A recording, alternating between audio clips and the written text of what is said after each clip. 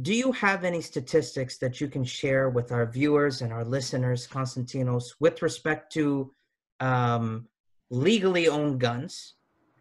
And uh, some of the benefits, let's say, if you have, if you can find in your it, that you found in your statistical research of have of having a gun as a legally legally owned legal owner, uh, and we'll take it from there. Because I think a lot of that will address, uh, and then we'll get slowly back into the uh, black market versus how how much do we strike a balance that Nana was discussing.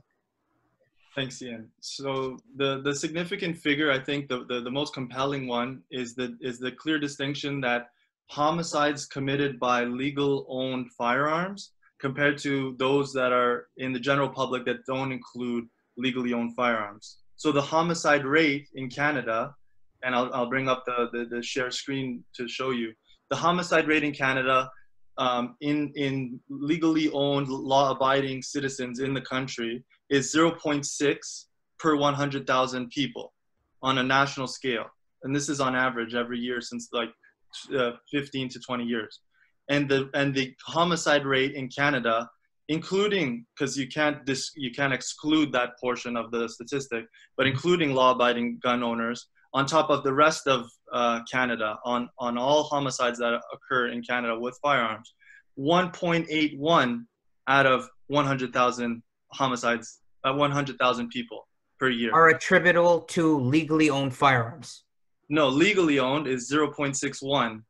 And then the rest of Canada, homicides committed with firearms, mm-hmm. including but also every other firearm that we cannot right. confirm are legal, are, are conducted by, uh, are, are, are done at a rate of 1.81. So the homicide rate is significantly more than two times higher when you include gun, uh, gun deaths or homicides committed by firearms mm-hmm. uh, in general compared to homicides committed by firearms that are legally owned by uh, law-abiding citizens. So this just goes to the core of the prohibition and the ban on uh, that the Order in Council wishes to impose mm-hmm. is that the guns that are now being uh, illegalized across the board these it's, it's actually more than 1500 now they've reached over 2000 something guns because they just keep adding um, without actually properly notifying the public. So someone could, you know, and I'm not going to say that ignorance is a defense to uh, is, is, a defense in, in the law, but when you're just imposing certain things sort of on a back channel, and that sort of goes to the picture of how this order in council you need was public notice, right? So you have all these firearms that are, that, being, yes. that are being addressed as illegal, and those guns throughout history, studies show that the and the, and the, the other point that I want to make is that the idea that the studies that have been conducted in Canada, okay, and I'm speaking just in Canada because this is the Order in Council in Canada, and sure. we can look at other countries as well. But the empirical evidence is insufficient to show over the last 20 years that there is any uh, any accurate uh, representation or any accurate um, recommendation that that scientists or that gun uh, people who study guns can actually make to the government to impose a new legislation. Right. So with that being said, just because there hasn't been enough study, there hasn't been enough in-depth study over the last 20 years. So that says that any type of new legislation moving forward, and this includes the, the, the May 1st Order in Council, cannot be recommended. And so it just it just means that what the Prime Minister has done has not been empirically based on scientific study. It, it cannot actually be based on scientific study, which the evidence shows and the recommendations by these leading criminologists uh, say. So let's show our viewers. Let's show them your particular so, uh, sites or your sources. Sure. Okay, so I'm going to go ahead and share the screen. Yeah. And see. If I'm uh, correct. This is do triggers pull fingers, Konstantinos? Yeah, I have that one open here. So Okay. I've got a few. I've got a few. Um, a few, and so they're all journal articles. They're all uh, peer edited, peer reviewed journal articles. Uh, published. Gary Mauser. Pardon? Yes. So this Gary Mauser, he's a doctor. Uh, he's a, obviously a doctor. He's a, a criminologist in Canada. Um, I forget which university he works out of. But I've I've taken the time because this is a 31 page document. I don't want to bore the audience, but I've taken the time to highlight a few of the key facts in the in the in the journal as well as the other ones. So in the beginning, it just talks a little bit about um, the ownership, the, the, the breakdown of gun ownership in Canada, and I think one of the major statistics that really was drawn to me initially when I looked at this was that uh, was the were these numbers right here, and it shows.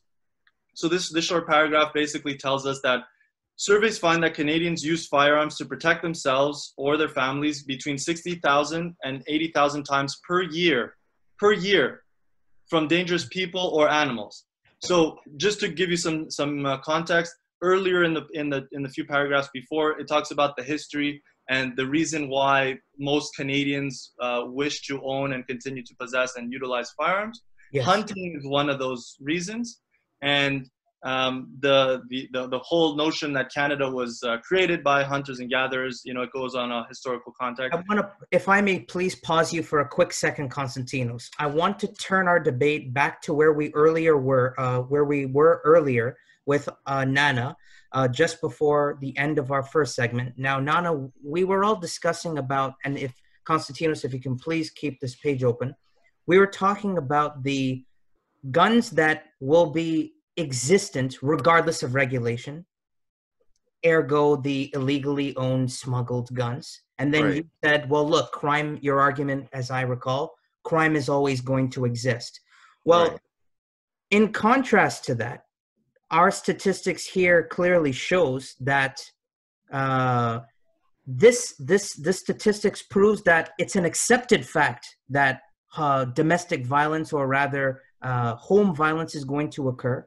Now, it doesn't specifically show that someone is protecting themselves and their families from gun violence, but it is it is showing that guns are successfully used to defend violence.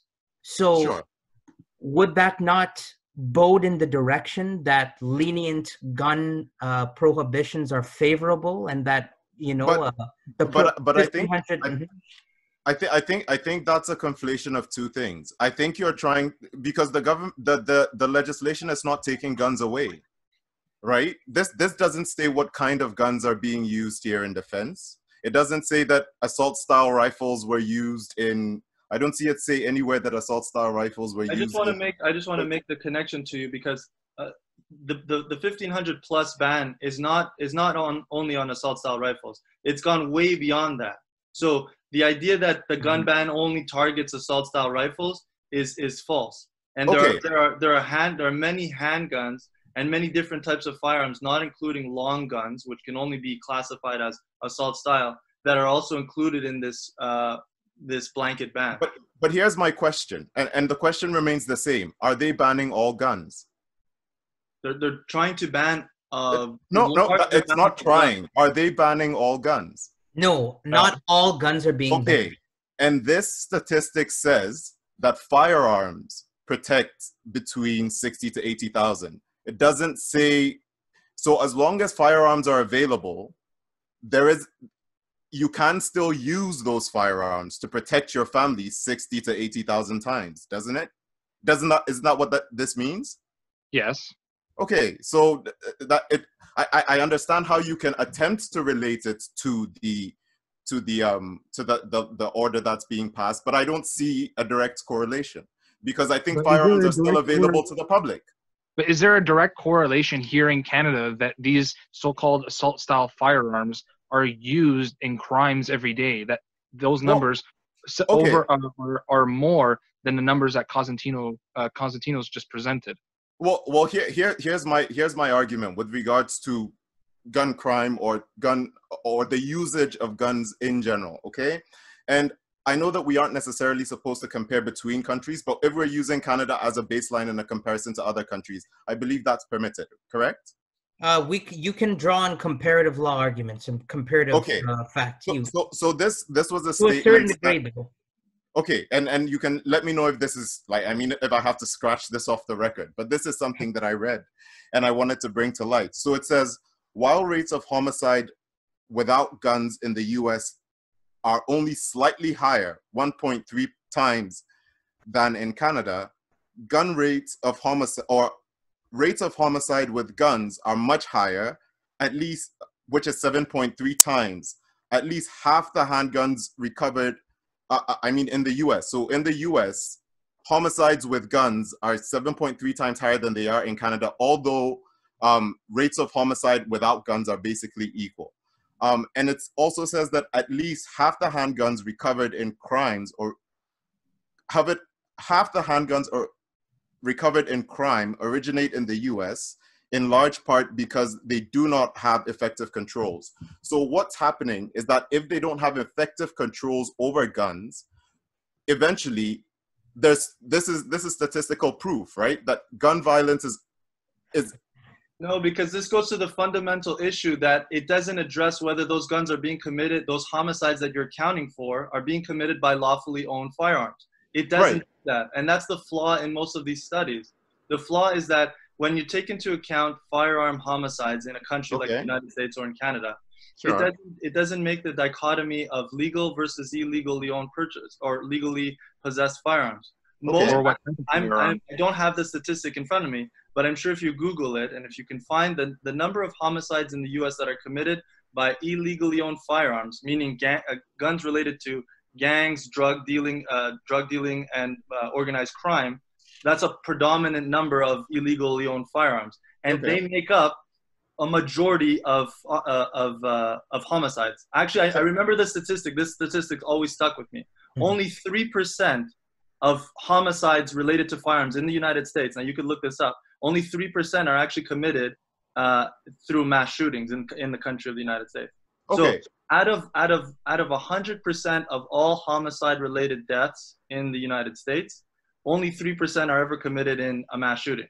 That means 97% of gun shootings we, we, uh, we cannot equate or equate for or account for uh, to be directly linked to uh, uh mass shooting incidents. Uh, and so here's a question. Do you think that there are more illegal guns in the States than there are in Canada? I would, I would only, I'm not sure, but I would say there are probably more illegal guns in, in the United States just because demographically speaking, three hundred uh, million people. Yeah, per gun owner, per gun owner, they have a lot more guns. And, it's, they, it's constitutional right in the states, so you have okay. a right to bear arms in the states. It's not, okay, you but have a right I, to bear arms in Canada. I, I get that, but I, I, and again, I'm bringing that back to I'm bringing that back to something. So so the line of questioning is leading to something. So okay, let's even say per capita, okay, per person. Let's say do you think that there are more illegal guns per person in the states than in the states than there are in Canada?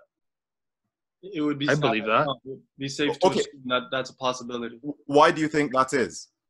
Why do I think that there's more guns per capita yes, in the United States? More illegal guns per capita in the United or, States than in Canada. gun regulation. Because yes, because there's less gun regulation in the states than in Canada, right? But now that poor gun regulation that's pouring into Canada because now those guns are able or they're uh, yes they're able to be smuggled here in canada and that and then those guns are used in illegal manners or they're they're, they're used to for for for crimes murder etc so not only so not only do we already have strict gun measures here in canada but now because of the um, the weak gun laws in the United States, in particular states or whatever, or because there's a, a, a huge a huge influx of illegal firearms, that pours into Canada. So doesn't that does that not does that not say that we should instead of banning the guns that are usually not involved or there is little uh, little uh, little violence with them, should we not put more resources into defending the border or securing our borders to ensure that the poor regulations that they have over there does not pour into our country. But you see, my that my argument here is simple because the question was, what is the current gun ban doing to address gun crime? Right. And you just said the reason why there are more guns in the states is because they have poor gun regulation.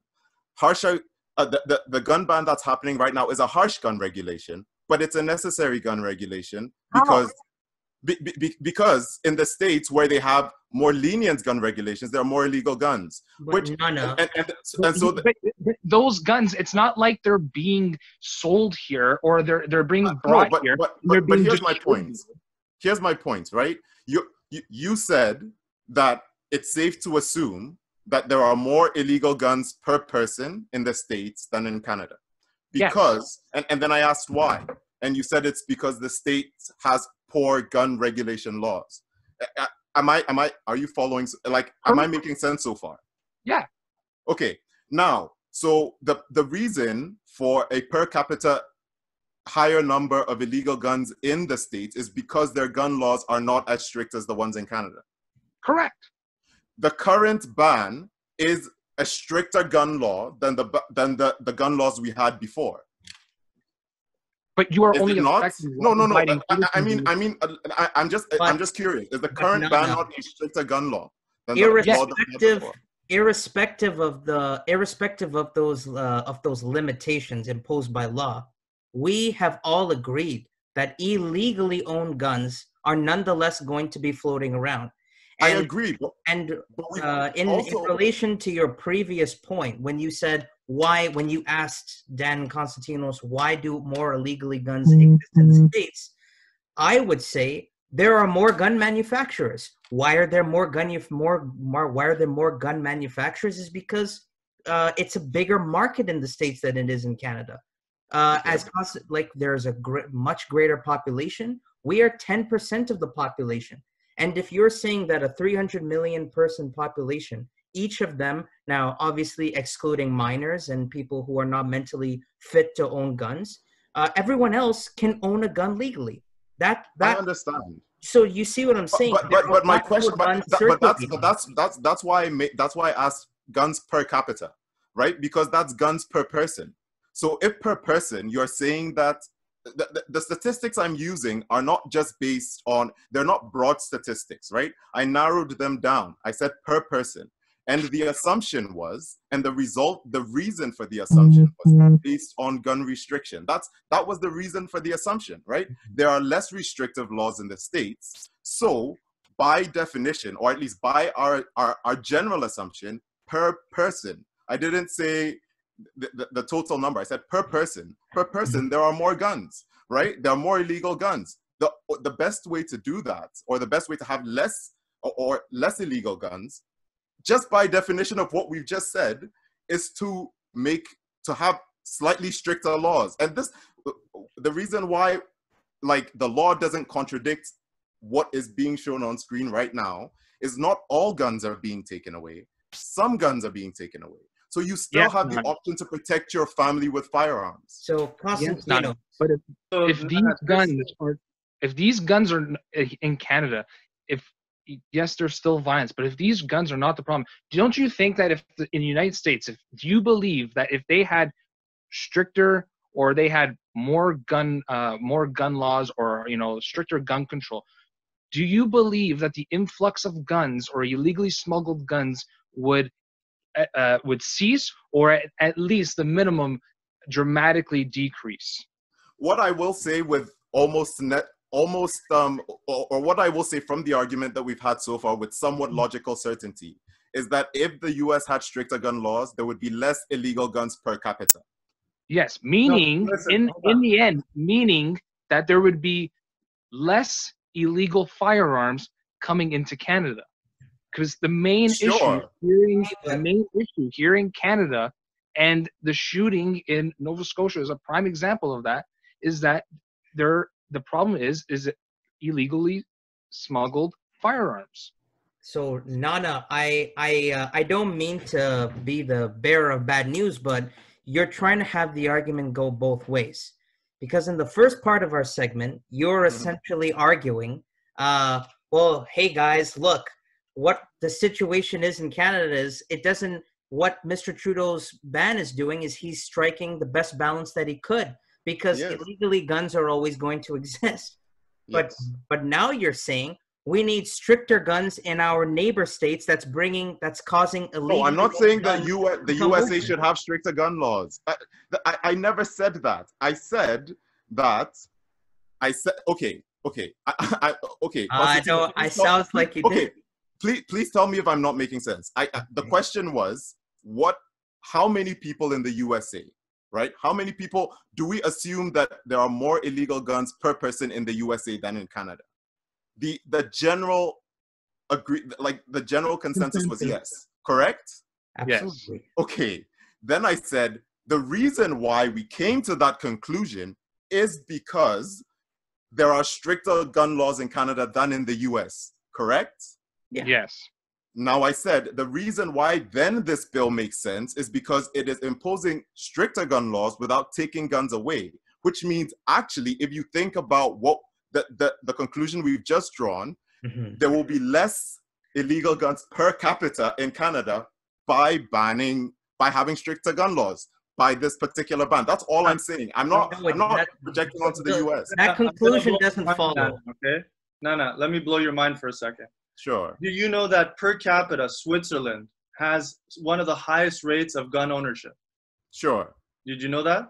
Uh, Dan had said that previously, yes. So, so Switzerland has one of the highest rates of gun ownership in any country across the world, comparative to not far behind from the United States. But they don't have a very high number of A, illegal firearms, and they don't have B, which is more important. They don't have the prevalence of uh, homicides and mass shootings that per capita, even if you compare it per capita, because it's obviously demographically a much smaller country, but comparative to the United States, they still have a large amount of gun possession, but very small amount of shootings and homicides.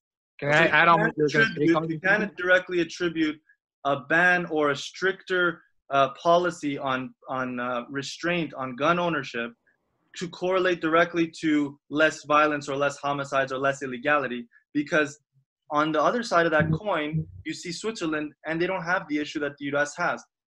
But Konstantinos, there is yeah. one point to make though, because does Switzerland border as Canada borders with a country that has a constitutional right to bear arms? Does the same apply to Switzerland? Is there a neighboring country where there's going to be a high level of uh, immigration or you know back and forth travel where those countries will have licensed owners as much as the states does. But I think that this right here is a key, this is going to be a key point. So whereas as we neighbor the United States that has poor re- gun regulation, mm-hmm. in Europe, most of the countries around Switzerland have strict gun measures. So if by having if the United States, if you look at Switzerland, technically, if the US were to have stricter gun laws, there would be less gun crime happening in the neighboring countries, such as Switzerland is a prime example. So, okay.